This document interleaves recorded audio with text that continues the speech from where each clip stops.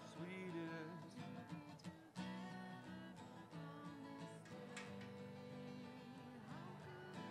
How good it is, how sweet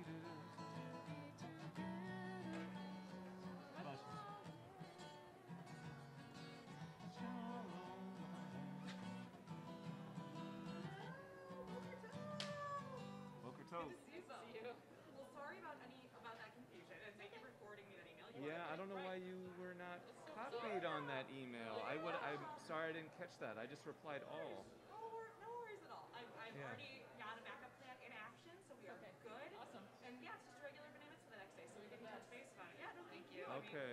I just feel terribly. Because we were talking about ways to make the Friday night work if you, uh, depending on like what the. Go to your book club.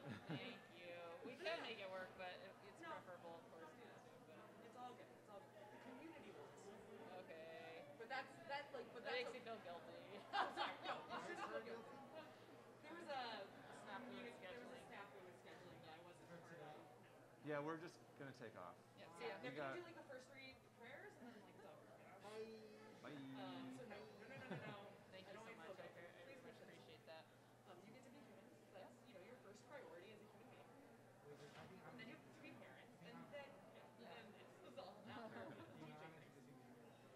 Um, I need to make sure I have water. Okay. You do. Uh, oh, we, we have a little bit. Oh, that's mine. That's enough for I have now. some too. Awesome. So yeah, just wanted to tell you that. Thank so you. I'm not gonna email on Siobhan. That's fair. Totally. You could do an all Hanukkah B'nai Mitzvah service. So we're going to get Shabbat Shalom, everyone. We're going to get started in just about two minutes. And I just want to ask a favor of everyone. So if I, I know this is a little unusual to stop the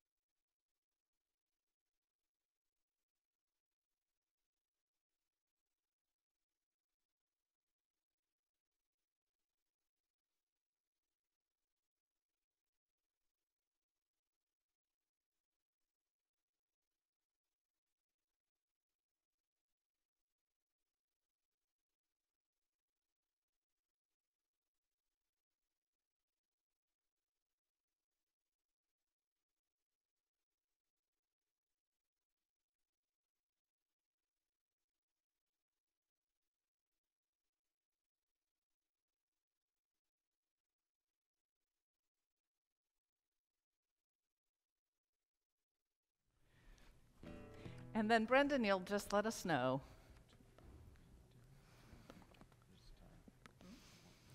And I think that was a thumbs up. And so Shabbat Shalom, everyone. Shabbat Shalom. It is wonderful to see all of you here. We say, Hine matov umanayim shevet achim gam yachad. It is so good. It is so good to be here on this Shabbat that even here in Seattle, the sun has come out. Please join us in singing Hine matov.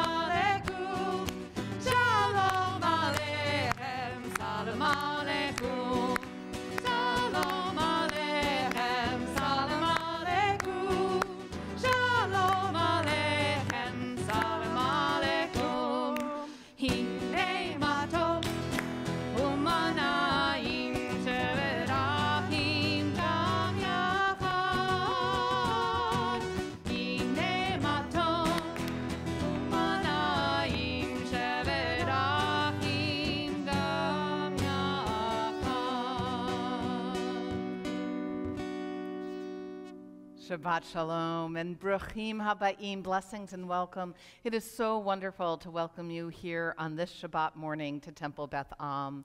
I am Rabbi Ruth Zlotnick. I am joined by Rabbi Dana Benson, by Rabbi Jason Levine, by Rabbi, De- I mean, by our Rabbi Debbie Mas- Maserano. And also, we're so grateful that Taryn and Noah are here bringing such beauty to our prayers, and that each member of our um, adult B'nai Mitzvah cohort is here to help us lead, um, and we'll be introducing them as, as they arise. Um, and we're also grateful that each and every one of you is joining us, whether you're online or here um, in the sanctuary with us. This is indeed, as we mentioned um, prior to services, this adult B'nai Mitzvah cohort started almost three years ago now, I believe. Um, and uh, when COVID hit, they had the option to uh, keep their original date and be on Zoom, or to make the choice to actually experience becoming B'nai Mitzvah on this sanctuary here. And, uh, and this is how we found ourselves on this particular Shabbat. And I will say that, you know, God works in mysterious ways because in this Torah portion of this Shabbat, it's uh, Parashat Vayishlach. You'll be hearing incredible teachings about it in just a little bit, as well as incredible teachings about our prayers. But in this Torah portion, it's the story of someone who, in the middle of life, went on a journey of transformation, and it wasn't easy. There were tons of challenges and obstacles outside of themselves and within themselves that they wrestled with. But on the other side of this journey, they walk through the world just a little differently and know that they are blessed and that they are also bringing blessing into the world. Of course, the Torah portion is about Jacob, but that could be the story of each and every one of our adult B'nai Mitzvot. I want to uh, hearken to you what incredible role models and teachers they are.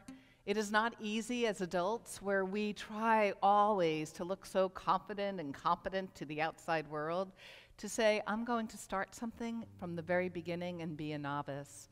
And then to integrate it into who you are to such an extent that you're able to be here as our teacher this morning. So I want to just say at the outset, this is a very special Shabbat morning because um, my rabbinic colleagues and I will really just be traffic cops doing very little. The work uh, of uh, leading services will be um, uh, held by this extraordinary class of uh, individuals. Um, but I would be remiss if I didn't say that um, in addition to the three of us guiding them on this journey, Debbie Maserano has truly been their spirit guide, especially, uh, especially in the learning of Hebrew. In fact, just a little while ago, we were, I, I kid you not, we did a pregame huddle where we took her name in vain. So uh, go, yay, Debbie. Um, so, uh, with that said, because Debbie is such a um, wonderful friend and teacher to our community, we've asked her to um, begin our journey of prayer and study this morning with the Nisim B'chol the uh, blessings of every day. You can find them on page 80.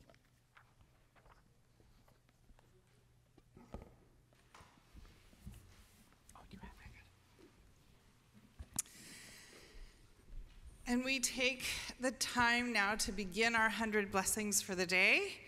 Um, I invite you to chant in Hebrew or English, whichever is your preference. We're going to be doing Hebrew.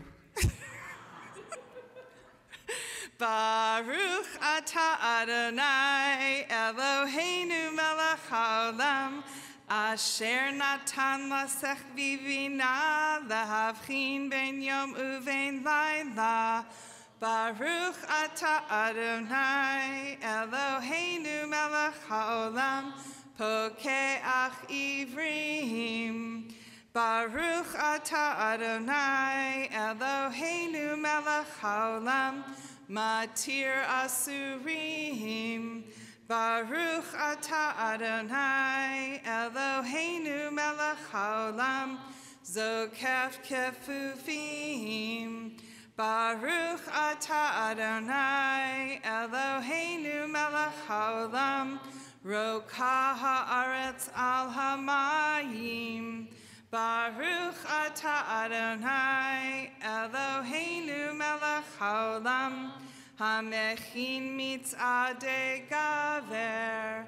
Baruch atah Adonai Eloheinu melech haolam malbish arumim Baruch atah Adonai Eloheinu melech haolam hanoten leya'ef koach Baruch atah Adonai Eloheinu melech haolam shena me'enai utnu ma'me af apai Baruch atah Adonai Eloheinu melech haolam she'asani betzelem Elohim.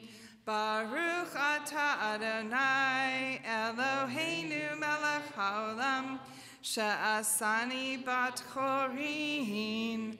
Baruch atah Adonai Eloheinu melech haolam she'asani Yisrael Baruch atah Adonai Eloheinu melech haolam Ozer Yisrael bigvura Baruch atah Adonai Eloheinu melech haolam Oter Yisrael betif ara Baruch atah Adonai Eloheinu haolam Asher kitshanu b'mitzvotav v'tzivanu la'asok b'divrei Torah. And as is our custom here at Temple Beth Am, we take a moment to think of our own bracha, our own blessing we would like to add. I'll give you a moment to think of yours, and we will then join together with the first six words and offer up our blessing.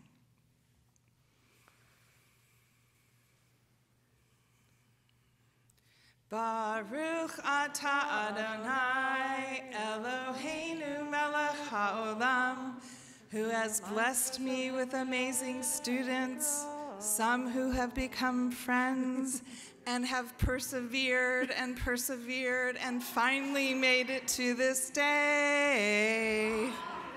Amen. Thank you so much, Debbie, for leading us in that beautiful, the beautiful blessings that help us start our day, as well as a reminder of how blessed all of us are on this day. We continue with the words of Baruch Hu, which are a call to worship, acknowledging that we have at least a minyan in the room. but we have blessedly so much more than that. Um, and so, as Rabbi Ruth mentioned, this community, these individuals who are going to be, well, you're all right there, I guess, right now. Um, these amazing B'nai Mitzvah are going to be our teachers today. And they wanted to be sure that this moment happened in front of all of you as community. So we are grateful for that as we turn to page 108 for the Baruch Hu. Please rise. If it is your custom, you are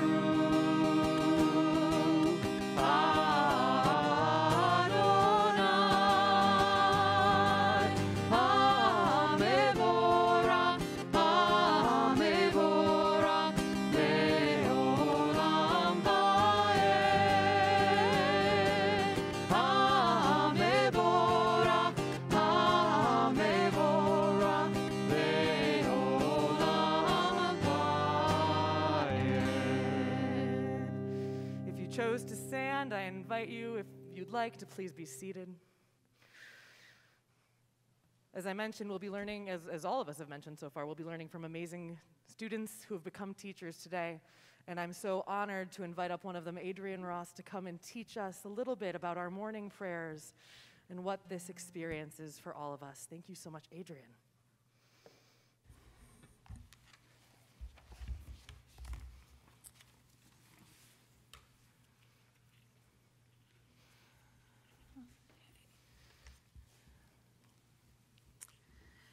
I used to think that I was saying the Yotzer Or all wrong.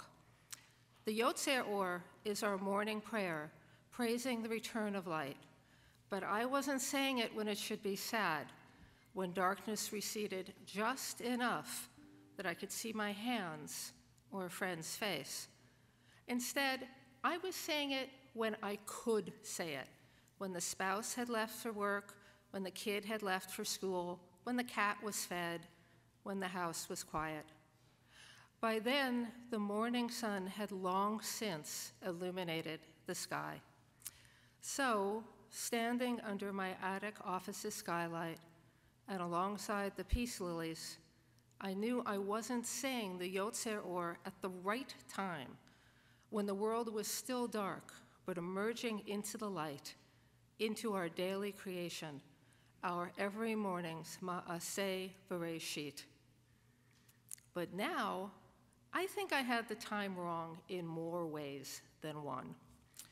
Like most people who fell asleep in their high school physics class, I thought that the universe began in a big bang, that singular explosive moment of creation. In actuality, the Big Bang started a process of creation in a still expanding universe, which after eons led to an endless multitude and ongoing creation of planets, suns, and stars. Far wiser minds than mine have seen in that abundant, ever present energy a reminder of God's words in the Torah's book of Genesis, aka Bereshit, namely, Yehi or Vayahi or, let there be light, spoken on the first day of creation. Now, this is a bit confusing, since according to Genesis, the sun, moon, and stars, those celestial timekeepers that cue us into when it's night and when it's day, weren't, were not created until the fourth day of creation. So, if I'm understanding this correctly, before there's light in the sky, there's a light in the universe, a light in creation itself. Before anything, there's light, and it's the same light from the same source. Not a light of dusk and a light of dawn, not a light of night and a light of day, and not a host of gods jostling over each other for control over dusk and dawn, night and day. Instead, there's just one active, illuminating presence throughout the universe, including in our small part of creation. Now, understanding the difference between night and day, dark and light, can seem a bit beside the point in the modern world of electric lights. I don't claim to have seen a lot of this world or its light, but I've trekked in the Himalayas and I've backpacked in the Wind Rivers and along the Washington coast, which means I've been in places where there isn't a switch to flick to bring on the light. In those places, night is dark, really dark. And yet, I can't recall a time that there was only darkness in the night. Whether Milky Way or moonlight, there was always some light somewhere in the darkness. And who, having lived through the last few years, can't say they've seen more than enough darkness in the light of day? Perhaps that's something the rabbis of long ago understood when they wrote the Yotzer Or to praise the one God who creates darkness and light, who makes peace and creates everything, even what's not at all peaceful. Or perhaps it's just human nature that we can't understand day without night, or anything without its opposite. Perhaps those rabbis wrote the Yotzer Or to affirm one God rather than too many gods to keep up with. Or perhaps the rabbis had people like me in mind, people who worry more about when to recite the Yotzer Or than they do about what it's saying. Now I wonder each morning while reciting the Yotzer Or if the rabbis were trying to remind me of a larger truth, a truth of the light, the energy, the sacred that underlies all our nights, all our days, all our lives. Thank you. Please join me on page 110 for the Yotzer Or. Okay. Baruch Adonai, Eloheinu melech haolam, Yotzer Or uvorei hoshek, Osei shalom uvorei et hakol, Hameir la'aretz, Veladarim alecha berakamim. Utuvo mehadesh bikol yom tamid, ma'aseh v'reishit, ma rabu ma'asecha Adonai, kulam behokma asita, mala haaretz kine yanecha, barak Adonai shavak yadecha, or she asita, Yafa Arucha Selah, Or Hadash Al Zion Ta'ir, Kulanu Mehera Le'oro, Baruch atah Adonai, Yotzer Ham Orot. Thank you so much, Adrian. And I now am honored to invite up Nathan Otteson and Amy Kelman, who are going to continue to lead us as we turn to page 112 for Ahava Rabbah.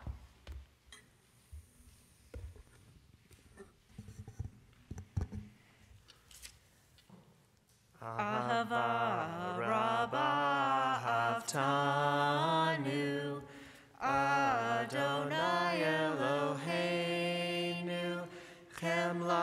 Gedola Vitera Chamalta Aleinu Bavor Avotenu Ve'imotenu Shebachru Becha Shebachru Becha Avotenu Ve'imotenu Vatelam den huke haim. Kentehonenu utlam denu. Hamrachem, hamrachem, rachem malenu. Veten belibenu lehavin, lehavinul haskil lishmoa lilmodu lelamed, lishmor velasot.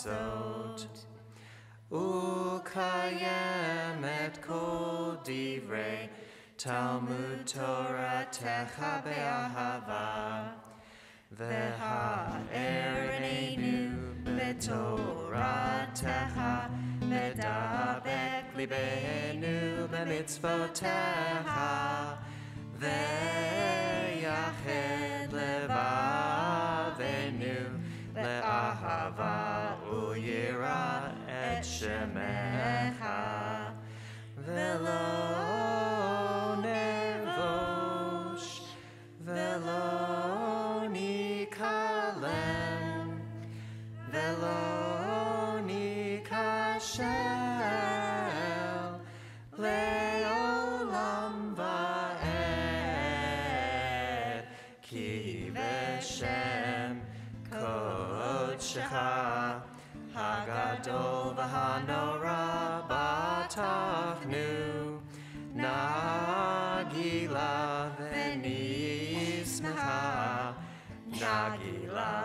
v'nismecha b'yeshuatecha V'havienu l'shalom Me'arba kanfot haaretz V'tolichenu komemiyut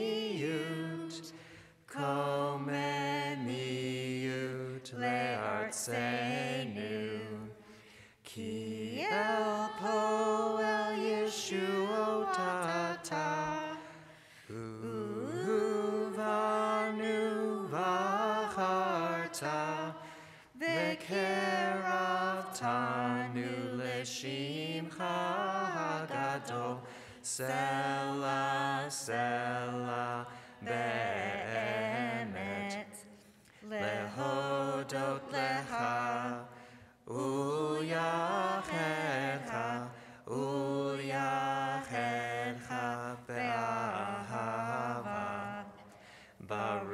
Atah Adonai, habocher be'amo Yisrael be'ahava. Kol. I'm going to be recruiting you for services coming up, so thank you for leading us so beautifully. Um, and we'll continue now with hearing some words and reflection about the Shema and her blessings from Carrie Stahl.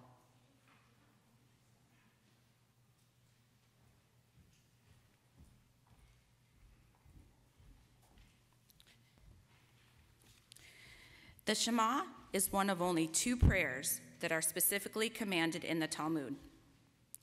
The first part of the Shema begins with one of the best known, most fundamental expressions of Jewish belief, and the one from which this prayer gets its name Shema Yisrael, Hear Israel. The end of that line, the Lord is one, expresses the idea that there's only one God. Growing up, I always knew there was a God, but it was at a surface level. Yes, God created the earth and up in heaven, but that was it. My mom used to say to me, Carrie, God is on your shoulders watching you. But I did not truly understand what that meant. I still remember the day I heard the Shema for the first time. I was at my son Tyler's Oneg Shabbat at SJCS, and they sang the prayer. At that moment, a feeling came over me. I got chills and started to cry. It was such a powerful moment. I felt God was there, watching over me and my family. It helped me to understand the bigger picture that there is something bigger than all of us, something that we cannot see, but we can feel exists to protect us. The Shema is a powerful prayer, one with a lot of meaning in just a few words. The Shema says you should love God with your entire being. A relationship with God is not about what you believe, it is about how you love and listen. There is a powerful force that spreads through the universe that guides the stars in the sky, the wind in the air, and all that around us. That one is God. The universal love in everything there is is one, one God.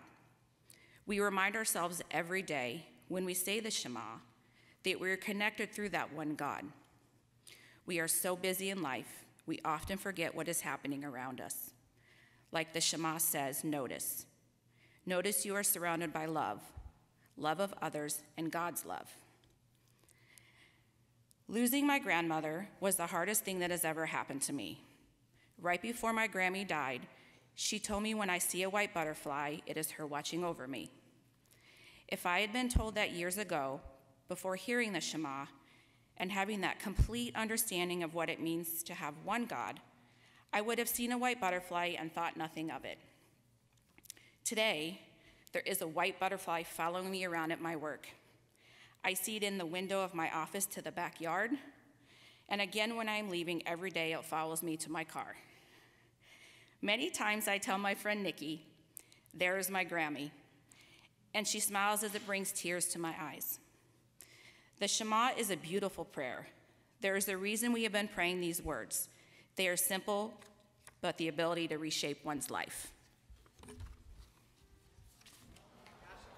Kol hakavod. And so we are reminded so beautifully by Carrie to notice, to listen, to love, as we share in these words of Shema together on page 114. If it is your custom and you are able, I invite you to rise.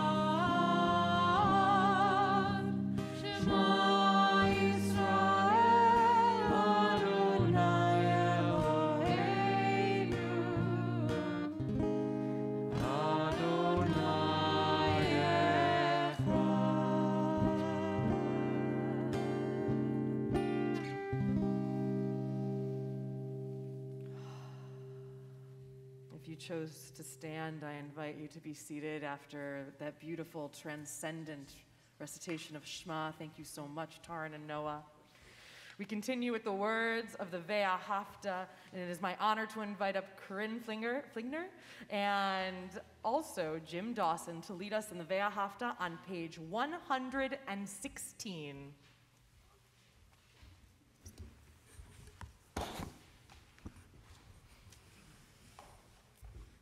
Ve'ahavta et Adonai Elohecha b'chol levavcha uv'kol nafshecha uv'kol miyotecha והיו הדברים האלה אשר אנוכי מצווך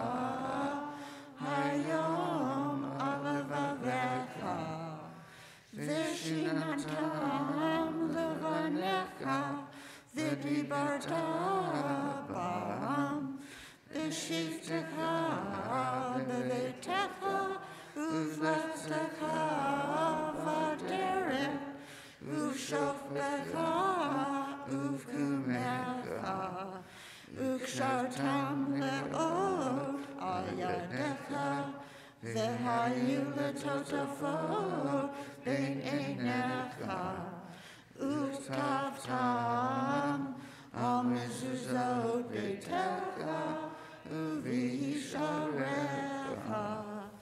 למען תזכרו ועשיתם את כל מצוותיי והייתם קדושים לאלוהיכם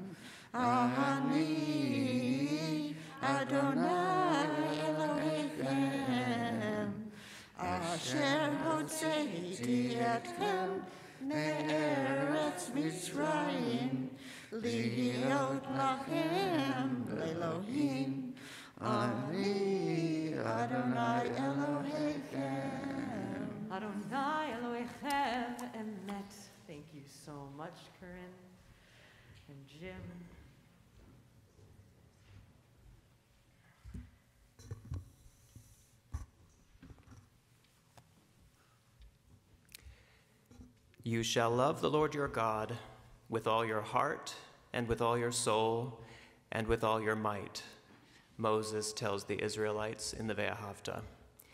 In these verses from Deuteronomy, Moses then proceeds to list a few specific ways in which we are required to show that love, binding them as a sign upon our hand and as a reminder above the eyes, inscribing them on our gates.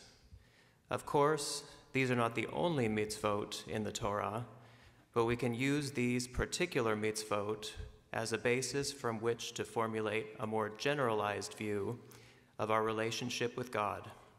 We demonstrate our love for God by following the commandments.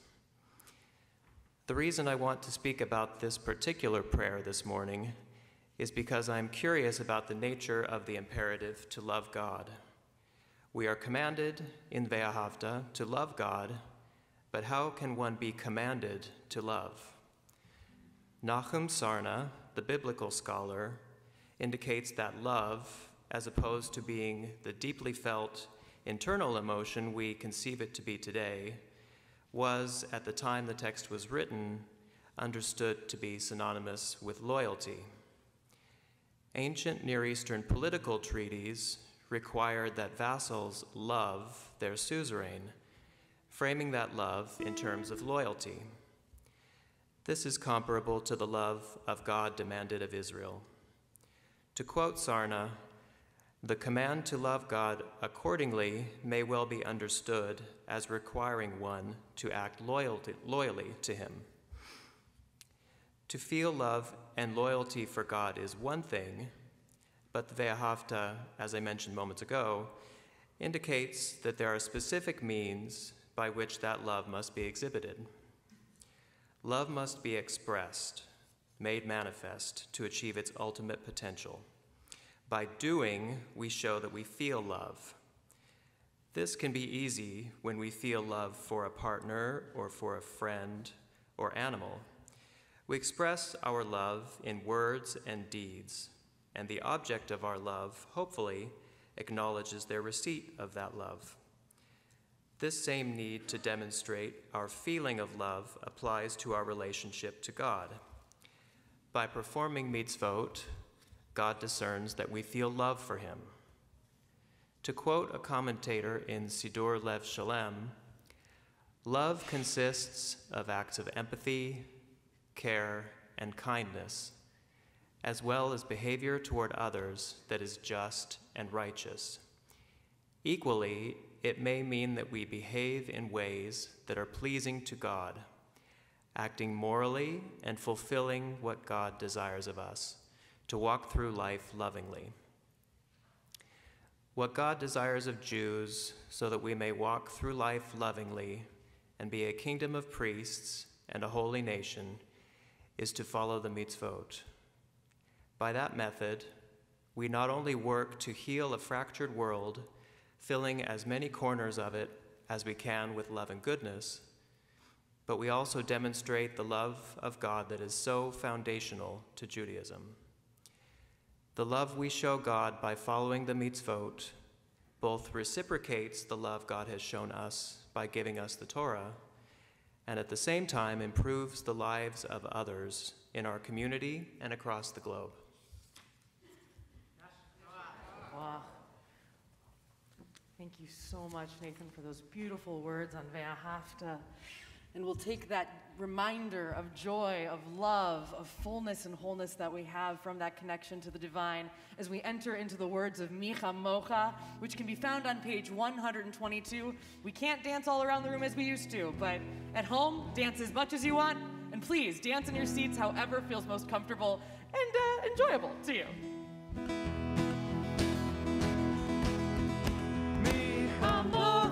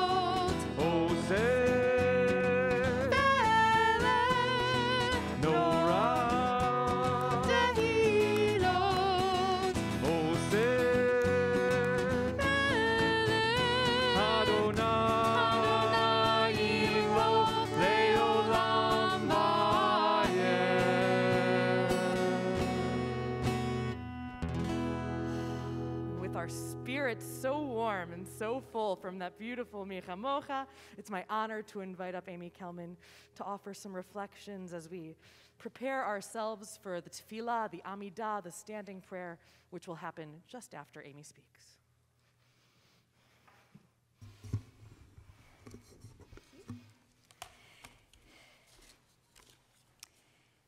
Like us, our ancestors were far from perfect. Even the patriarchs and the matriarchs, those we extol in the first blessing of the central prayer of Jewish liturgy, the Avot Ve'imahot. While it may feel comfortable to remember them for their goodness, I think it's imperative that we recognize them in all their humanity, complex and imperfect, just like us. They deceived, they were desperate, they were devious. They struggled and they suffered, but they were also patient, kind, wise, hospitable, and tenacious. And miraculously, despite all odds, they managed to be steadfast in their faith in this unnameable and unknowable God. They loved their God freely, of their own will, and without the expectation of favor, unconditionally. And because of that, we are here. Hineni. We're here, drawn to the very same oneness of God, uniquely ours, universally ours. Like our ancestors, we seek connection, we search for meaning, we yearn for wholeness, which is beautifully in Hebrew, shalom. We practice, we pray. I wholeheartedly agree with Rabbis Lawrence Kushner and Nehemiah Polen, who posit that the source of all prayer is unconditioned, freely given love. I don't think it's coincidental that the root of ahava, the Hebrew word for love, is hava, which means to give. It's widely understood that the Avot Ve'imahot connects us as links in a chain all the way back to Abraham and Sarah.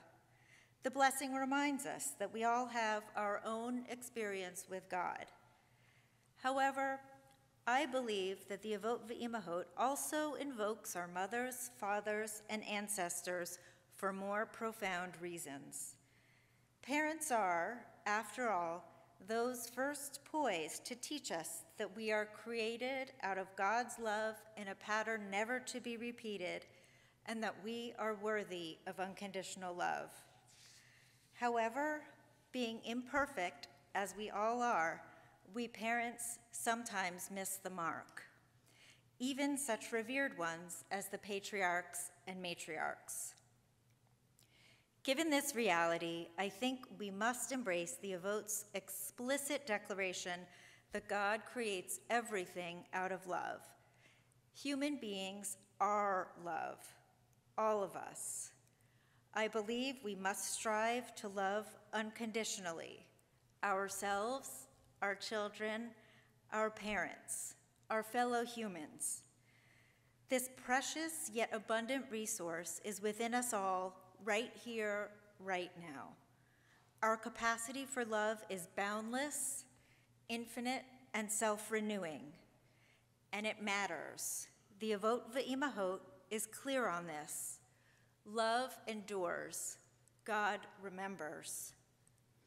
I believe that love is the connection between us all, the oneness of God.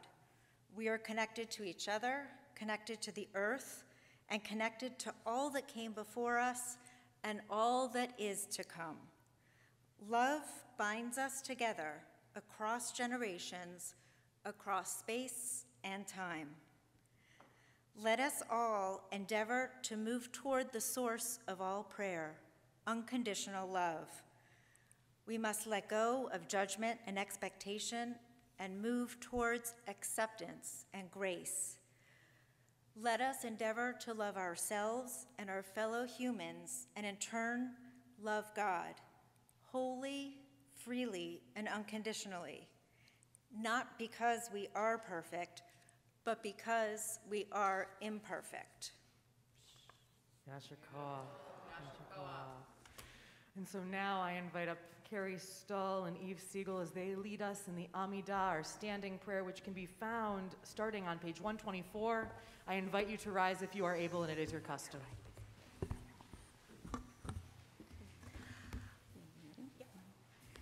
Adonai Sephatai Tiftak Ufiyak Hilatecha Adonai, open up my lips that my mouth may declare your praise.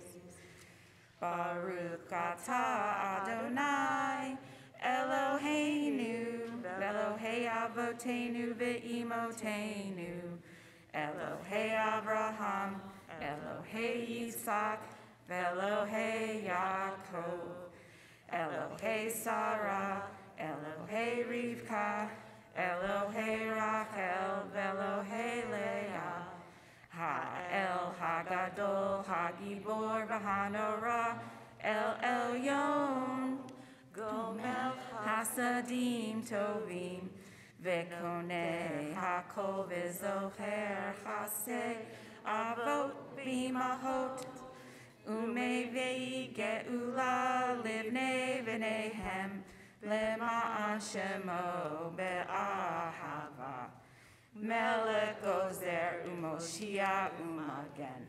Baruch Ata Adonai, Magen Abraham ve'ezrat Sarah. Ata Gibor le'olam Adonai, Mechaye hakol atara lahoshia. Mashiv haruach umorib hagashem. הגשם מחיה הקים בחסד מחיה הכל ברחמים רבים סומק נופלים ורופא חולים ומתיר אסורים ומחיה אמונתו לשני עפר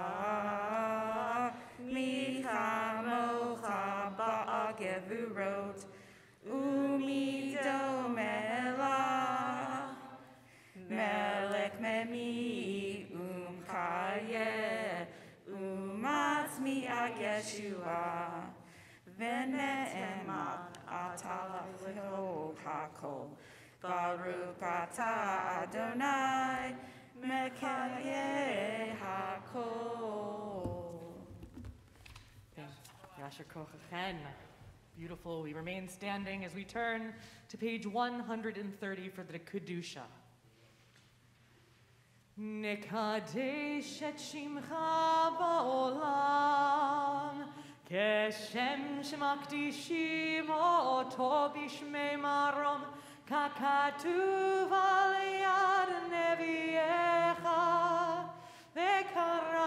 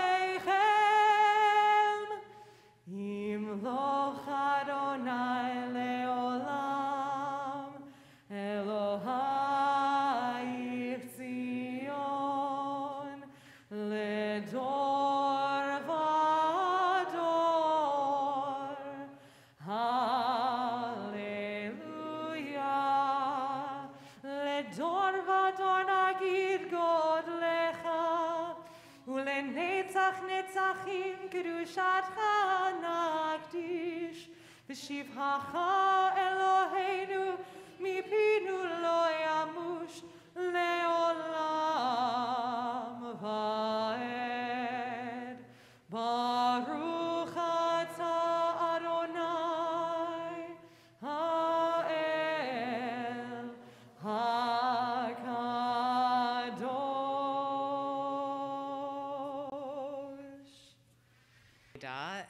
As Dana said, it's the standing prayer. But because we have a special teaching by Corinne, I'm going to invite you all to please be seated.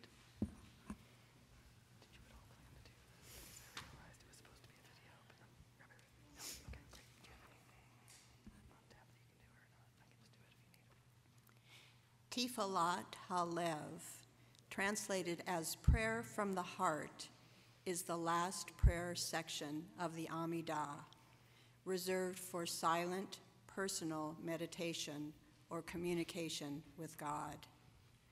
The early rabbis viewed this section of the service as a time for each person to choose their own words of individualized prayer to balance the communal nature of most of the fixed liturgy. Elohai Nitzor is included in this section of our prayer book, but it is not usually read or spoken aloud. As a result, it is less familiar than many of the prayers in the Amidah. Here is the English translation of the first three lines of Elohai Nitzor. My God, guard my speech from evil and my lips from deception. Before those who slander me, I will hold my tongue.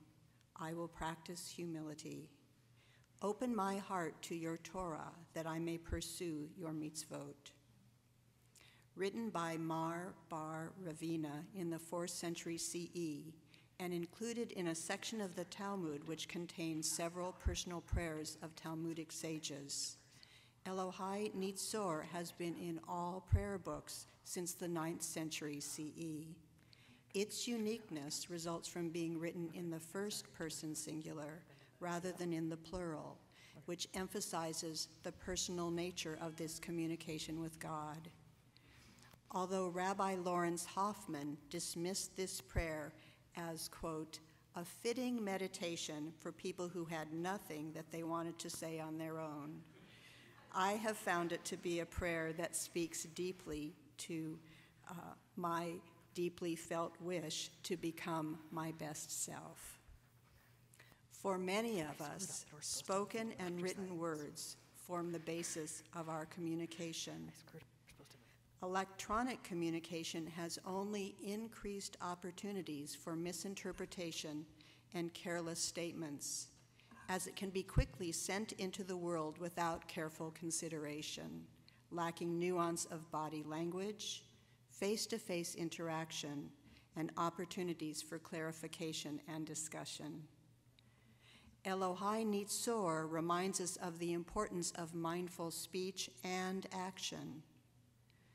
Mindfulness emphasizes the pause that allows space for thoughtful response so that our speech is neither glib, thoughtless, unnecessary, unwise, nor unkind. Mindfulness of action encourages us to speak up and act on behalf of others or ourselves when necessary. The words, My God, guard my speech from evil and my lips from deception, remind us of the power our words have to harm or to help, and to have impacts which can last for many years, contributing to estrangement, loneliness, and psychological trauma, or alternatively, to connection, positive self image, and goodwill. Sometimes, despite our best efforts, our speech may harm others, hopefully without intent. Reducing the harm and hurt that our words have caused often requires difficult conversations as we listen with open, with open heart to try to understand, communicate, apologize, and make amends. Likewise, if we have been harmed by the words of another, we must try to communicate with them so as not to hold anger and hurt in our own hearts, which can spill out at unexpected times to impact others. In my extended family, as in many families, the strands of communication and connection have sometimes been stretched and occasionally disrupted, and only sometimes rewoven and reconnected. While we may not have acquired the requisite skills and insights for good communication when we were younger, I believe that we can change how we interact in the world at any age. Many authors have used the ideas of Elohai Nitzor to create accessible guidance to improve communication. For example, an aphorism familiar to many of us paraphrases Bernard Meltzer, a 20th century radio host who wrote Before you speak, Ask yourself if what you are going to say is true, is kind, is necessary, is helpful. If the answer is no, maybe what you are about to say should be left unsaid. For me, using the ideas of Elohai Nitzor encourages me in my goal of mindful speech and action, working towards being more aware, thoughtful, and kind to keep the strands of communication connected.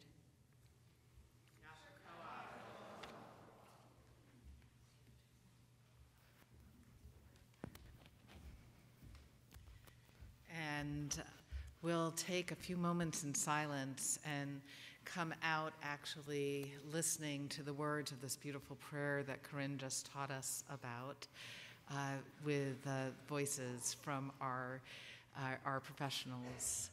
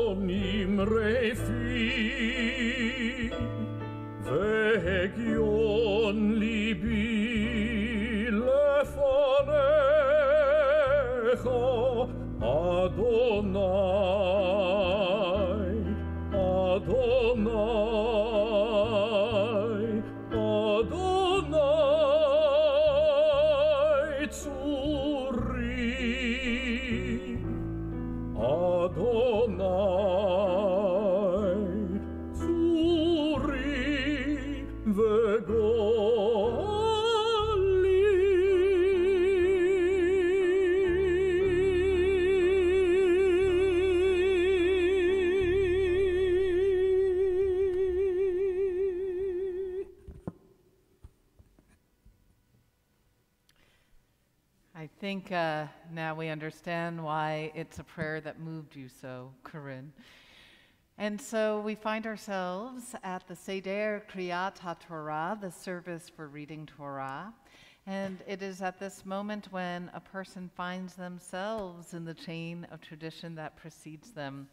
Ordinarily, uh, we have this moment when we take Torah from the Ark and we share it with the community who is gathered, whether online or here. Um, ordinarily, that's a time for um, your conventional B'nai Mitzvah student to receive Torah from uh, the hands of their parents. Um, but we always make sure that we have a blessing from the community because we believe at Temple Beth Am that this passing of Torah doesn't just happen within families, but it happens as whole communities, generation to generation to generation. Um, and so the passing down of Torah for this particular service for reading Torah will be very um, focused on that uh, communal joy that we experience. And so, um, to offer words of blessing to our adult B'nai Mitzvah cohort on behalf of our congregation, it is an honor to invite our president, Ben Glatstein, to come forward.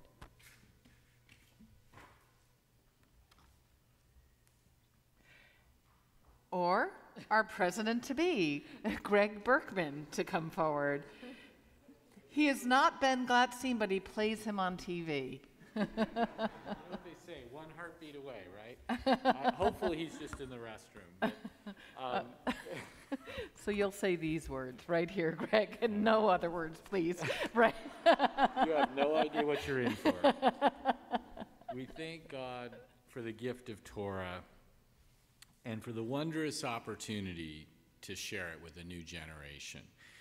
Today, you ensure the con- continuation of the legacy of Moses and Miriam, who first taught Torah to our people. As we prepare to hand the Torah to you now, it is our hope that just as you will carry it in your hands today, you will carry it within your hearts always as a perpetual expression of faith in God and commitment to your people. Amen. And so this. don't they look like they were, you know, separated at birth? Can't rehearse this. so actually, gentlemen, um, we'll be calling you up in just a moment, but stay here because as long as you're here, we would love for both of you to open up the ark as we continue now with our service for reading Torah. You can uh, find the blessings on page 246. If um, uh, you are able, please rise or rise in spirit. And B'nai Mitzvah class, if you choose to, we would love for you to come up and receive Torah from the hands of our rabbis. Oh, you can push it all Rabbi Dana. ואין כמעשיך, מלכותך מלכות כל עולמים, וממשלתך וכל דור ועד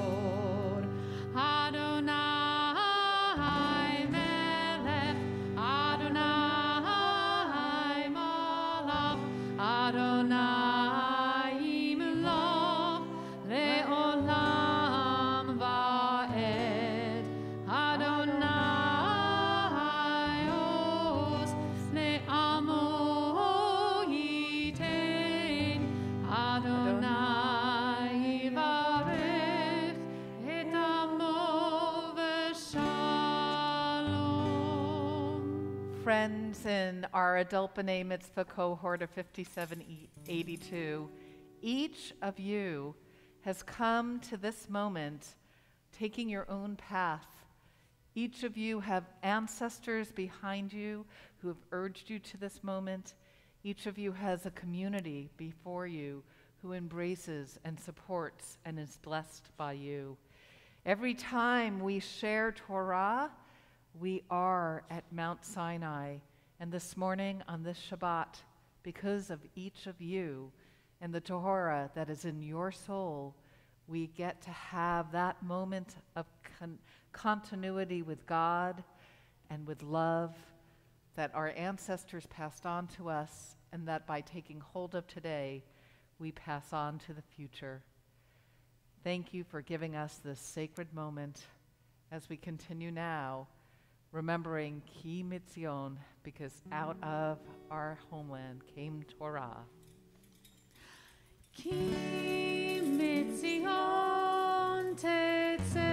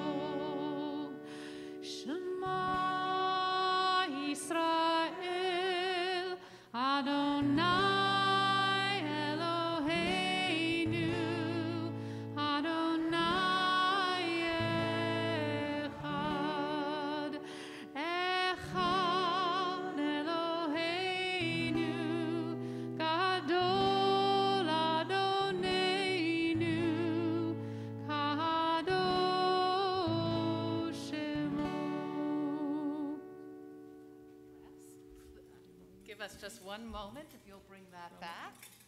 And B'nai Mitzvah students, you may have your uh. No. And once the ark is closed, we'll sit down. Okay. Please be seated. And so, in this moment, of uh, sharing Torah. It is an honor to invite. I promise you, even though uh, I know we the time is late, but we actually have just a few more teachings.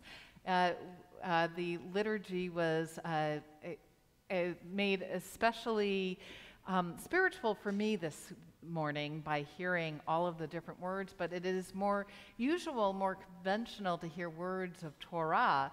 As I mentioned at the start of services, this week's uh, Torah portion could not be more perfect. It's Vayish Lach. It is about the time when um, uh, Jacob is about to reunite with his brother Esau after 20 years of rivalry and he has a very interesting experience uh, at night by a riverside with a being.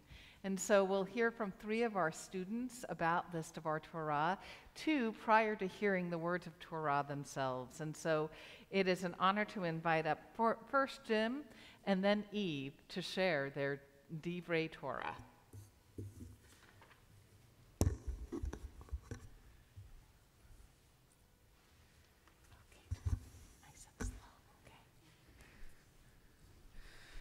There's the cliche that says, winners never quit and quitters never win. In this Torah portion, Jacob never stops looking for a way to mend his relationship with his brother Esau. In Vaishlach, Jacob, on his way to meet up with his long lost twin, sends a message of reconciliation, hoping to please his brother. He instructs his men to tell Esau that he has done all right for himself, working for his father in law Laban. In fact, he has been something of a con man. When his men return, they report that Esau is on his way with 400 men. Esau seems to have held a grudge, and it's time for Jacob to face the music. Some might have turned tail and run, but Jacob decides to trust in God. It is to his credit that he admits that he is unworthy of all that he has gained since the time he crossed the Jordan with nothing but his walking stick. He takes assurance, reassurance from God's instruction to return to his native land. He remembers God's promise that things will go well with him. He prays that he will be saved from Esau's hand. But instead of just trusting God, he divides his people, his flocks, and his herds into two camps and resigns himself to the possibility of losing one of them. He also prepares a rather sizable gift, actually, several gifts in succession, to appease Esau before the fateful reunion. Jacob crosses a river with his wives, maidservants, and children. Then he goes back and sends everything he owns ahead of him. He is now separated from everything that is or was his. He is alone. Along comes a mysterious figure who wrestles with him until the sun begins to rise. And there's more mystery. The text does not describe the action. It does not say whether Jacob was the clear winner or whether it was a sort of stalemate. All we are told is that Jacob's opponent saw that he could not overcome Jacob and that he struck Jacob's hip socket. While wrestling is a combat sport, the object is to subdue one's opponent without actually injuring them. Had there been a referee, the mysterious figure would have been disqualified. Thus, Jacob was the winner, even though it is not clear that he did anything more than hold his own, although he clearly had a controlling hold, not allowing the other to leave. Eventually, Jacob agrees to let the mysterious being go in return for a blessing. After refusing to give his name, the mysterious being then took his leave of him. According to Plaut's commentary, took his leave might also be translated blessed. I believe this is what it meant. Maybe that blessing was worth the injury that Jacob received. I also believe that if you are up against an unbeatable opponent, a draw can be a moral victory. In my own life, I've struggled with my own unbeatable opponent, a bipolar disorder. A large part of the struggle was simply accepting that there is no cure. There is reason to believe that we would not want to eradicate the illness if we could. In some ways, it comes with a blessing. It is well known that bipolar disorder often goes hand in hand with creativity, particularly writing and poetry. It also causes the body to need less sleep, which means you have more hours in which to be creative. God creates. So the ability to create is part of being created in the image of God.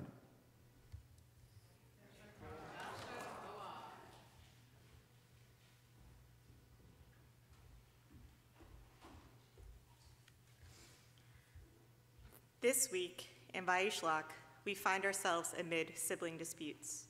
Jacob has been away from his home for over two decades, separated from his brother after a significant conflict. We find Jacob on his way home to reunite with his family, but the journey is full of trepidation and anxiety. Jacob remains fearful of his brother and anticipates that their conflict will remain on the forefront of his memory. On the eve of his reunion, Jacob encounters a stranger and wrestles him throughout the night. He fights fiercely until dawn when the stranger demands Jacob to release him. However, Jacob, ever the clever and contemplative brother, insists on a blessing before releasing the stranger. At this moment, he will no longer be known as Jacob, but Israel, because he has struggled with the divine and humanity and is ultimately victorious. Dawn arrives, and Jacob approaches Esau. The two brothers have a humble encounter, and Jacob is received warmly. Jacob, now wearing his new identity as Israel, divorces himself from the patterns of his youth and can now forge a new identity. In March of 2020, I found myself with 500 others staring at the soft light of a laptop, waiting for a Zoom to start. The Zoom was hosted by prominent OB-GYNs of University of Washington, and the topic on the agenda was pregnancy in the pandemic. Babies are born all the time, even in pandemics, and for some, this might be the right time for you to embark on pregnancy, and we are here to support you. Like Jacob, there was a fear in the unknown. There was this undertone of anxiety on how to prepare yourself for every outcome, every possibility. So, despite this uncertainty swirling, my husband and I made the decision to go ahead with our pregnancy plans. Your name shall no longer be called Jacob, but Israel, for you have striven with beings divine and human, and you have prevailed. This section of the Parsha is fascinating. It is a stark difference to Abraham. When God changed Abram's name to Abraham, it was an entirely new name, which signaled this complete change of character, a new person. However, scholars suggest that your name will no longer be called Jacob could mean your name will no longer only be called Jacob. By not abandoning his own name, Jacob instead grows into a new name of Israel. And in doing so, his identity grows, encompassing all the touchstones of what make us human that is, what we have been and what we are growing to be. Furthermore, the name Israel might reflect more than one meaning. It could mean one that is triumphant in battle, which is critical in order to become a nation, or perhaps the name Israel could be defined as the ability to engage head on in battle. But despite this elevated title, Jacob still retains his birth name and therefore retains his passive sensibilities which may also be the proper way of maintaining the state of Israel. My given name is Eve, but I am also called by others sister, daughter, aunt, wife. All of these names have shaped me and how I interact and engage with others. At the inconvenient hour of 5:53 a.m. in June, I instantly gave birth to two new identities. One weighed about seven pounds and had a really healthy set of lugs, the other was within me. To inherit the new name of mother is also to inherit one with an enormous job description, one with many preconceived expectations and the fear that any mistake could cause irrefutable harm. Like the name Israel, the definition of what is a successful mother is varied and highly individualized. But like Jacob, I retain my old name, and with that, my history and experiences to the part. The Midrash states that a person has three names one that is given by their father and mother, one that people know them by, and one that they acquire for themselves. Through this major life event, I have found this teaching to be true. As I step on my new path with the name Mother in tow, I find myself imagining what Jacob felt like with his new elevated name empowered, nervous, humbled, transformed. After all, the names we give ourselves may be the loftiest and most dynamic of them all. To me, when I inherited the name Mother, it required me to shift my focus and priorities. And the role of mother demanded I create a nurturing, loving environment. Similarly, I hope the same for my child. I want my daughter to grow into more than just the role of daughter, but into her own name, and with that, all the beautiful qualities that will transcend into the names she acquires throughout her life. Yasher Koach. And as I like to say to Eve, not only did she do everything that all the other B'nai Mitzvah students did, but she gestated and created a human being at the same time. and so Mazel Tov to you. Thank you, Rabbi Jason. So we are actually going to hear these words of Torah now from um, our uh, uh, incredible B'nai Mitzvah cohort. If you'd like to follow along, um, uh, you can follow along the the group as a whole will be reading from chapter 32 of the book of Genesis, starting with verse 4 and going all the way to verse 30. And the way we're going to do this, uh, in part to keep it COVID safe and, in part to uh, uh, give everyone an opportunity. We're going to do this in two aliyot, um, and uh, I am grateful that Debbie will uh, stand as Gabbai and Rabbi Dana will call each of our folks. Again, if you're uh, wanting to follow along, we're going to start with chapter 32 of Vayishlach, verse 4.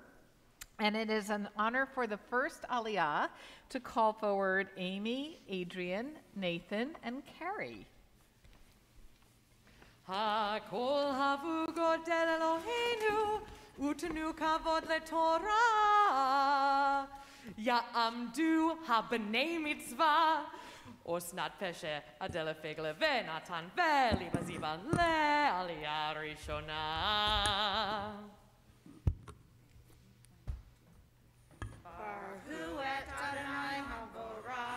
Baruch Adonai Hamvorach Leolam Vaed. Baruch Adonai Hamvorach Leolam Vaed.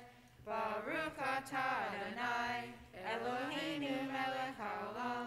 Asher Bahar Banu Mikol Ha'amim. Venatam Lanu Et Torato. Baruch Atah Adonai. Amen.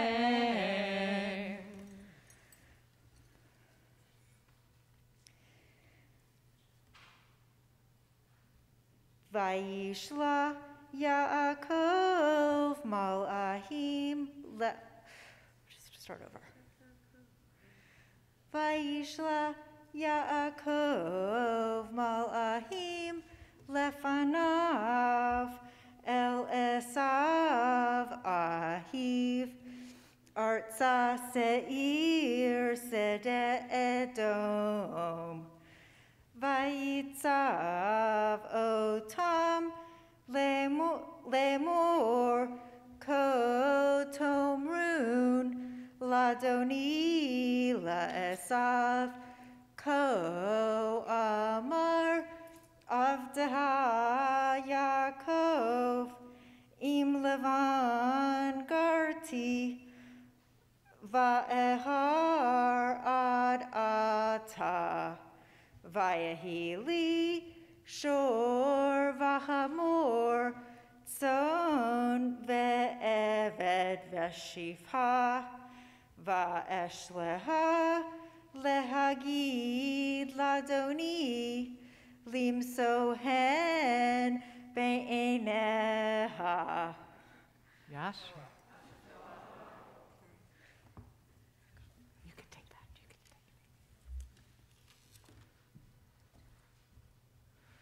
Vayashuvu Hamelakim El Yaakov Lemor Vanu El Ahiha El Esav Vegam Holehek לקראתך, וארבע מאות איש עמו, וירא יעקב מאוד ויצא לו, ויעט את העם אשר איתו, ואת הצאן, ואת הבקר, והגמלים לשני מחנות. Va'ayomer im yavo esav el hamahane ha'ahahat vehikahu v'hayaha hamahane haneshahar lifleta. Yasha Koach.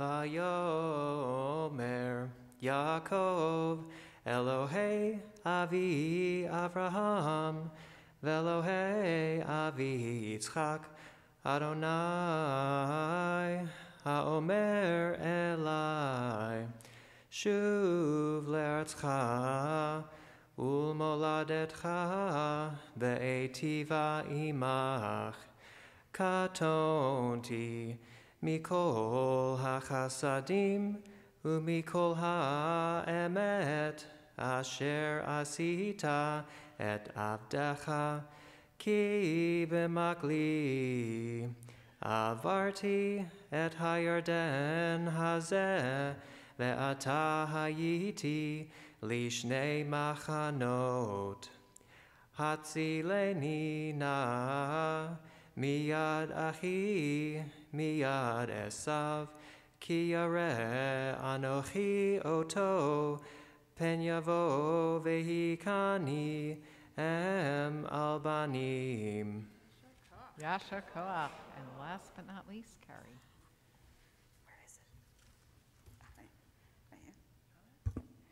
ואתה אמרת היטב אחיו עמך, ושמתי את זרעך ככל היום, אשר לא יספר מרוב, וילן שם בלילה חהוב, ויקח מן הבת וידון מנחה לעשב אחיו. Izimataim, Utyashim, Asrim, Rakalim, Mataim, Ve'elim, Esrim. Yasha And if you all will just come a little closer and do the blessing after. Baruch atah Adonai, Eloheinu melech haolam, asher natan lanu torat emet, olam betochenu, Baruch atah Adonai, noten haTorah. Amen. And we say Yasher Koach to each and every one. I'd like to invite the remainder of our class to come forward. They will pick up at uh, verse 16, and Rabbi Dana will call them with the official call. הכל הבו גודל אלוהינו, ותנו כבוד לתורה. יעמדו הבני מצווה. אלנה ועמיתה וחווה וחיים לעלייה שנייה. Baruch et Adonai Hamborach. Baruch Adonai Hamborach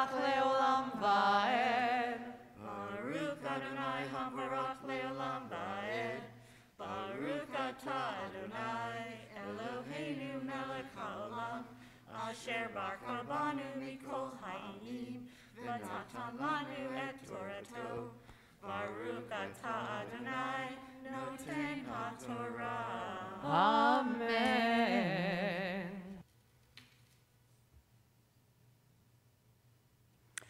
Ve'amarta le'avdecha le'ya'akov Mincha Ishalucha Ladoni lesav, Vehine gam hu acharenu Vayitzav gam et hashani gam et hashlishi. Gam et kol hahohim אחרי העדרים לאמור כדבר הזה תדברון אל עשיו במוצאכם אותו ואמרתם גם הנה עבדך יעקב אחרינו כי אמר אכפרה פניו במנחה ההולכת לפניי ואחרי כן אראה פניו אולי יישא פניי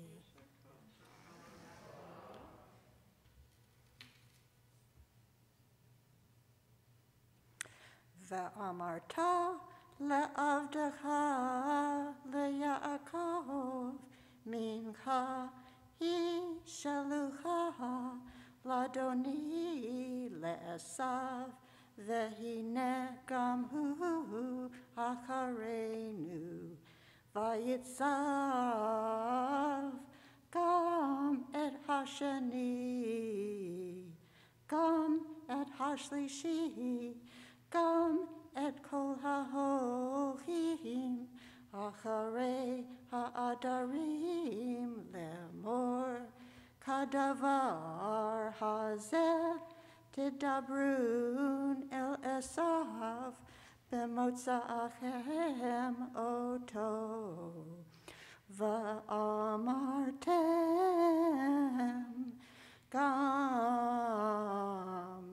hine avdecha Yaakov acharenu ki amar achaperafanav bamincha aholechet lefanai ve'acharehen erefanav ulai isafanai. Good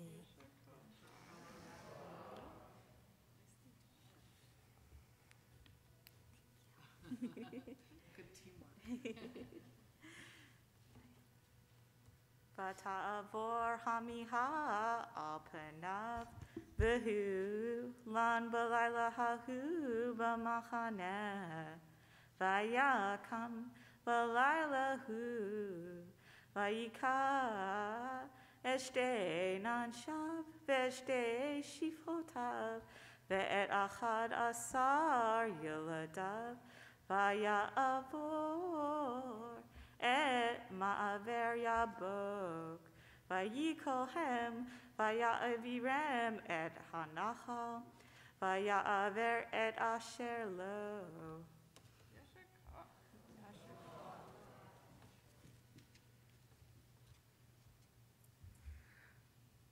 Vayomer elav mashemecha Vayomer Yaakov Vayomer lo Yaakov Vayomer od Shimcha Ki Israel Ki Sarita im Elohim Ve'im Anashim V'tucha Vayishal Yaakov Vayomer Shemecha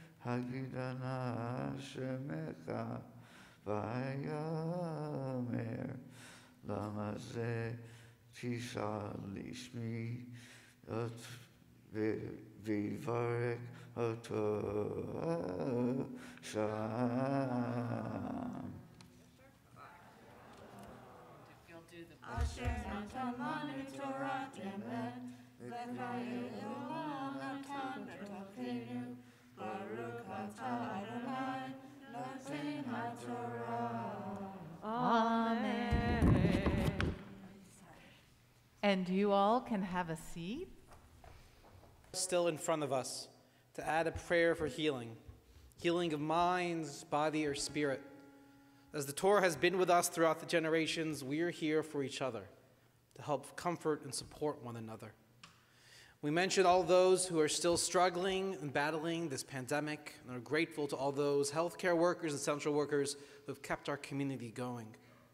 We think of all those who struggle every day, unnecessarily and horribly with hatred and discrimination, simply for being who they are, whom they love, the color of their skin, how they pray, where they are from. We also add the names of loved ones in our own lives We seek to add to this prayer of healing and this prayer of support. Those of you joining online, please add names to the chat. And those of you joining in person, you're welcome to share names out loud at this time.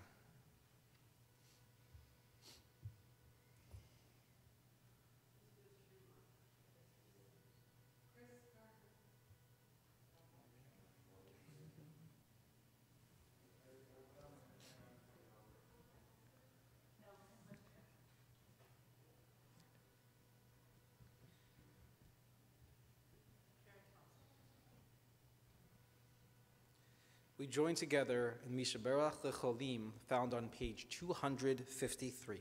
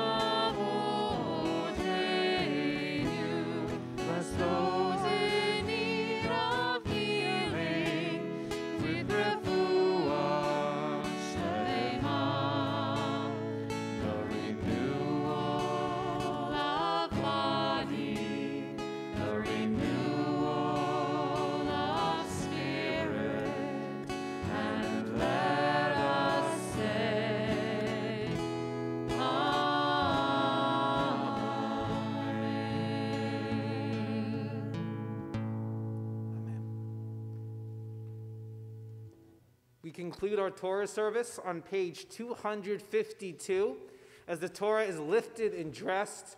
And we'll make a quick transition to then 256 as we return the Torah to the Ark. If it is your tradition and you are able, please rise as the Torah is lifted, dressed, and returned.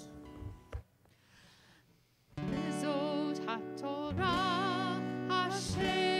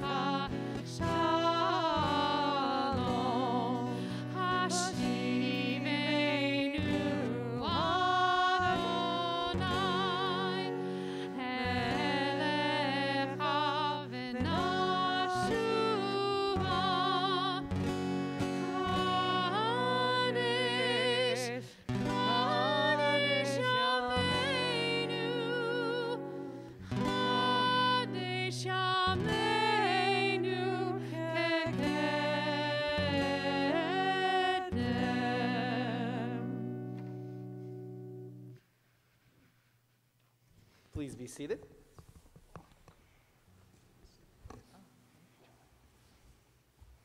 We continue with our Haftarah, a reading from the prophets that accompanies this week's Torah portion. Now, some weeks, there is always a connection between the Torah and the Haftarah portion. Some of it is a bit more obvious, some of it a bit more vague. This week is quite obvious, as the prophet Hosea, who prophesied in the northern kingdom of Israel, is trying to encourage and remind the people of what has transpired in the past to help them with the current struggles of their day. And he directly relates the story of Jacob and Esau from their battles as, a young, as young twins to what we read today, their reunification, and most importantly, the moment of wrestling and re identity. We'll be reading the Haftorah today. You can follow along in your prayer books. The blessings are on page 254, your prayer books or your flip books. And you can follow along with the reading itself if you choose to use Sefaria, if you have a tablet or you're online, or if you're in person. We'll be reading in total Hosea chapter 11, verse 7 through chapter 12, verse 13. And I'd like to welcome up Nathan, Corinne, Jim, Eve, and Carrie, who will open our Haftarah reading with a blessing before. We thank Debbie again for being our Gabbai.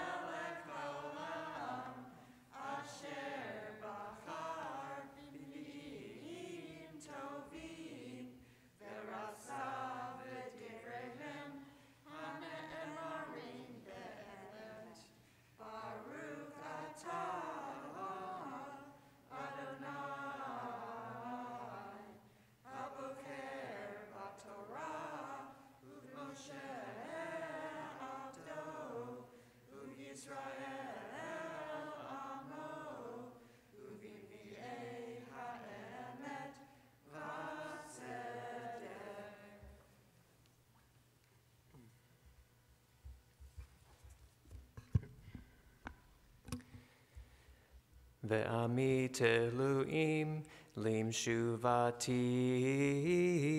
ואל על יקראוהו יחד לא ירומם. איך אתנך אפרים, המגנך ישראל, איך אתנך כאדמה asimcha kitzvoim nepachalai libi yachad nichmeru nichumai.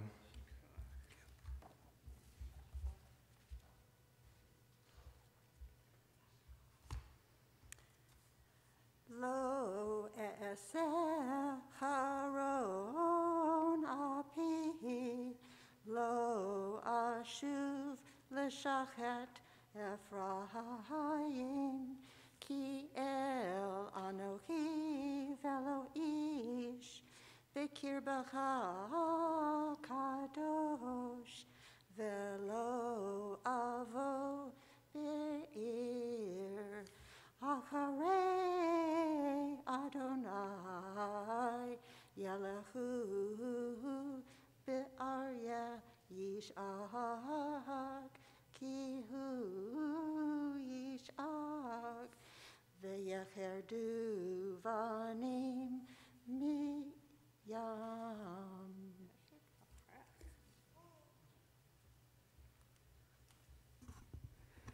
ירדו כציפור ממצרים, וכיונה מארץ ישראל, והידונה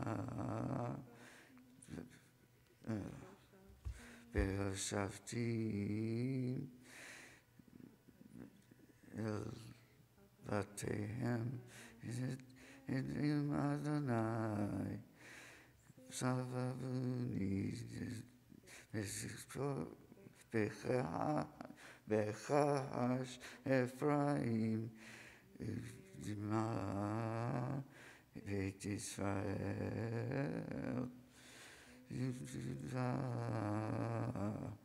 Odran, Imel, Ve'im Kedoshim, Ve'eman.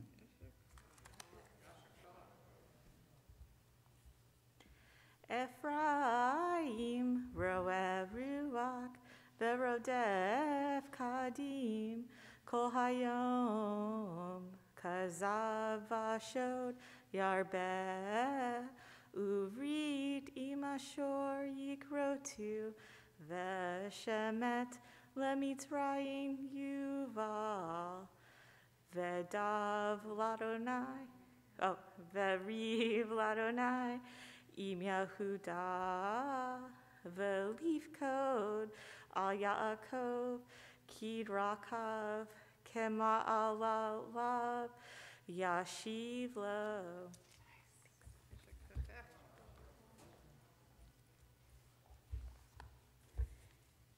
Babeten akav et achiv, uvono Sarah et Elohim, vayasar el malach, vayukol bacha, vayitanen lo, Beit El yimsa enu, visham Yidiber Imanu. Thank you. We welcome up Amy, Adrian to continue our reading.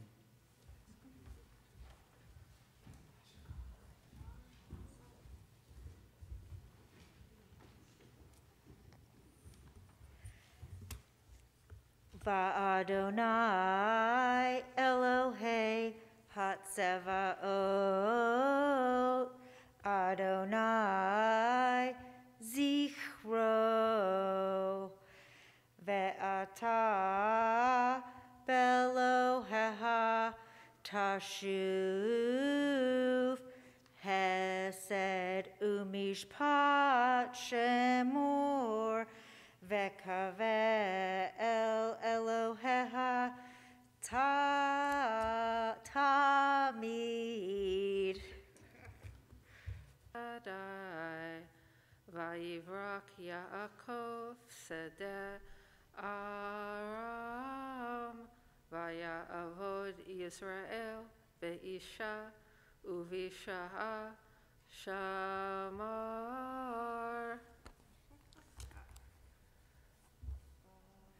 And then we'll do the blessing after. Come closer. One, two, three. Baruch Adonai.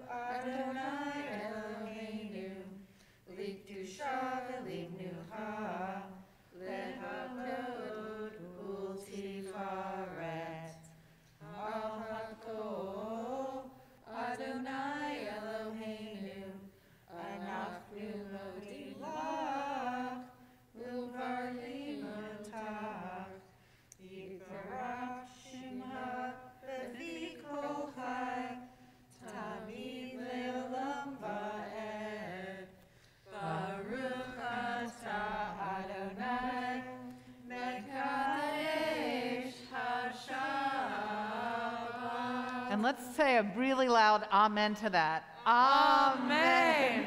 I'm going to invite the remaining uh, adult B'nai Mitzvah cohort to come up.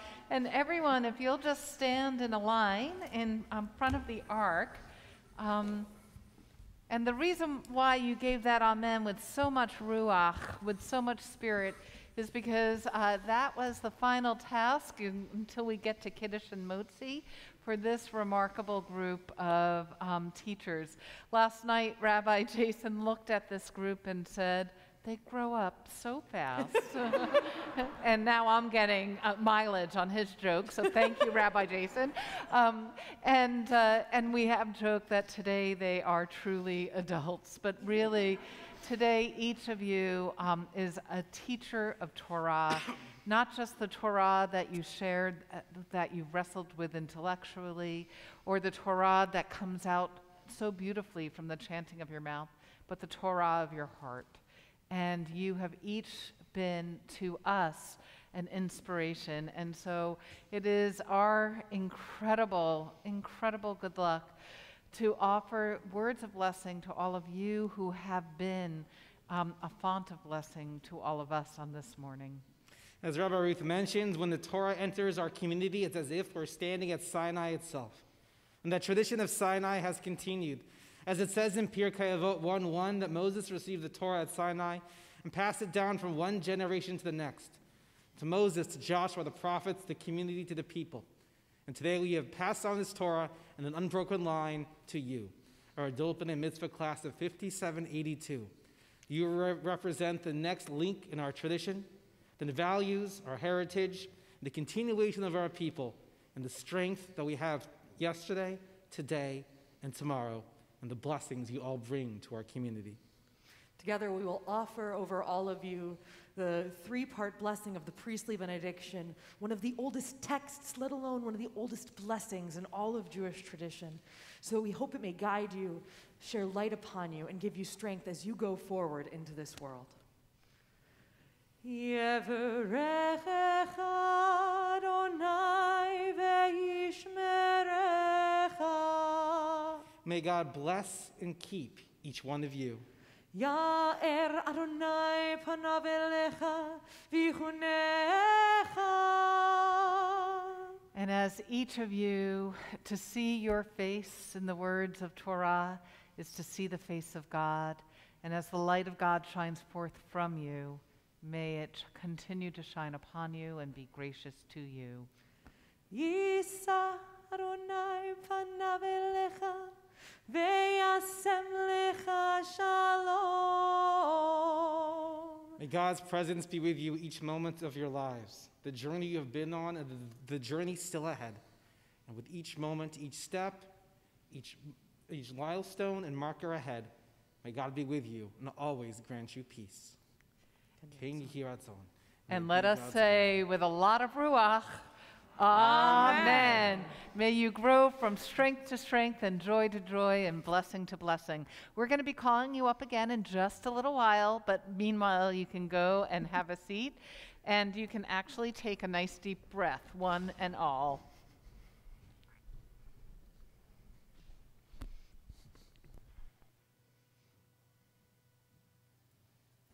It is important on Shabbat, even amidst our joy and celebration, as we remember the journeys ahead and the people, the generations past, that we honor that from which we've came. We honor memory. We honor those we have loved and those we have lost. With the words of Mourner's Kaddish found on page 294. We in our community this week are in the seven days of mourning for Gerald Katz, brother of Larry, brother in law of Diana, uncle of Jesse and Ethan. When the Pir the Shloshim, the 30 days of mourning for Lee Broadwin, father of Elliot, father in law of Christina. And we, our community, and many communities around the world, are observing Transgender Day of Remembrance, honoring all those whose lives have been taken or taken from them for simply trying to be who they are in a society that keeps holding them back. We observe the yahrzeit, the anniversary of passing of Audrey Ben Ezra, Pamela Bennett, Arthur Bobroff, Eunice Fleischer, Sarah Fisher, Natalie Gendler, Ruth Ginsler, Sherman Grossman, Jacob Kaufman, Rose Commisaro, Edward Kotler, Eugene LeBoeuf, Victoria Levinson, Sam Levinson, Eric Meyer, Celia Raphael, Jacob Rubinsky, Elsie Savage, Alexander Schwarzreich, Rachel Shipper, Morris Smith, Elaine Stoller. If there are names of loved ones you are remembering on this Shabbat, we invite you to add them to the chat or to share them out loud at this time.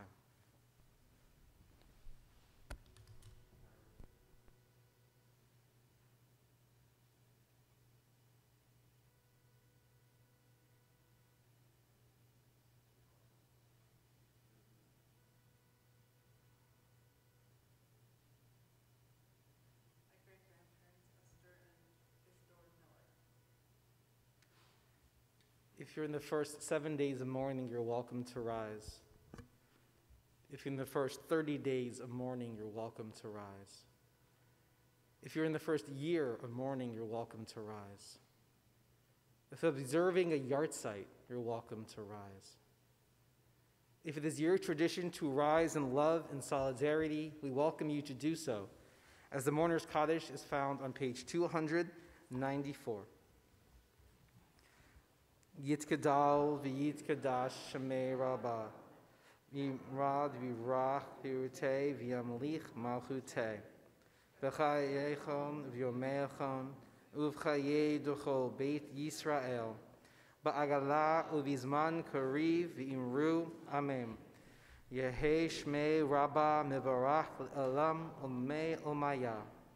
Yit barach yishtabach for yit pa'ar v'yit roman v'yit naseh. V'yit hadar v'yit v'yit shemei d'kudasha barichu. Le'ela min kol birchata v'shirata. Tushbechata v'nechamata. Da'am yiram be'alma v'imru. Amen. Yehe shlama rabba min shemaya. V'chayim aleinu ve'kol Yisrael. V'imru. Amen. Osei shalom bimromav. Hu ya'asei shalom. Aleinu ve'al kol Yisrael ve'al kol yoshvei tevel. V'imru. Amen. Amen. Yoshvei tevel, all who dwell on this earth. Please be seated. And just a few quick words of thank you. Uh, first and uh, foremost, thank you to uh, Noah and to Tarin for bringing such beautiful music to our, our space. Thank you to, um, to uh, Ronnie and to Toby for being our shamashim, and we can show our gratitude to them by bringing our prayer books back to the cart afterwards. Thank you to our incredible staff who have done so much to be able to bring uh, this adult B'nai Mitzvah experience to our teachers and our leaders. Um, and in particular, uh, we are so excited that today it, we're able to celebrate this incredible simcha with lunch. And so um, please uh, feel free to stay. We'll be doing that in a COVID safe way. Um, and from here on in, when we celebrate B'nai Mitzvah up here on the Bima, we'll be uh, also celebrating afterwards with a Kiddush lunch. And at this time, just to make sure that we're being responsible with our food consumption as we're doing this in a COVID safe way, we are asking if you uh, choose to come to lunch moving forward, not today, uh, that you'll RSVP. Uh, so, uh, a really a great amount of gratitude uh, to our incredible team uh, and to Brendan and Jamie who are hidden behind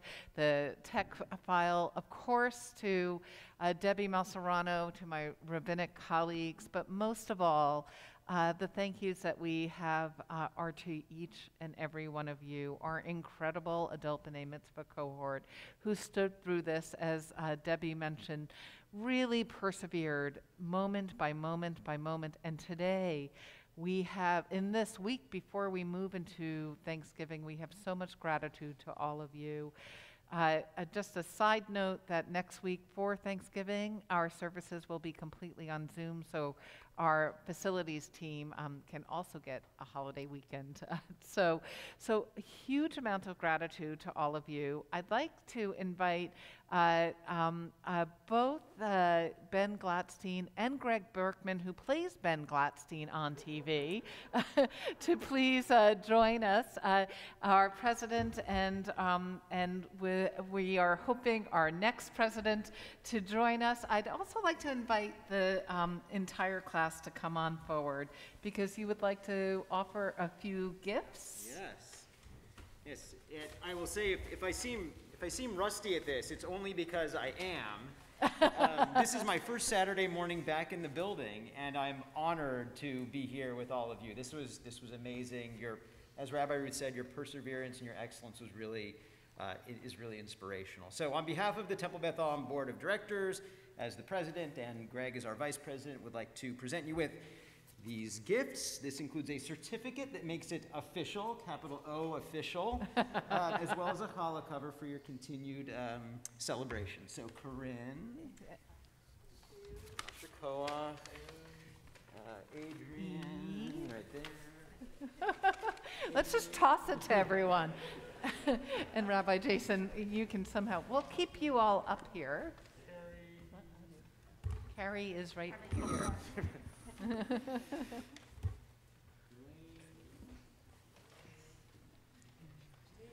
We did it.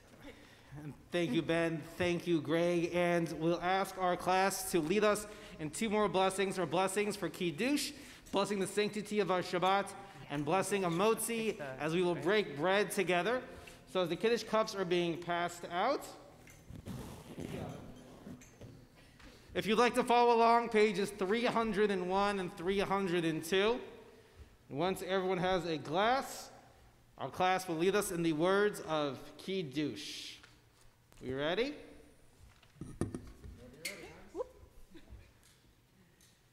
Baruch Adonai Eloheinu melech haolam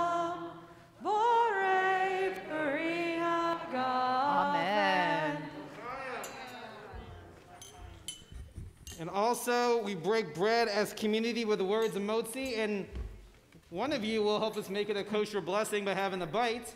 But for them now, together we say the words of Motzi. Baruch atah Adonai Eloheinu melech haolam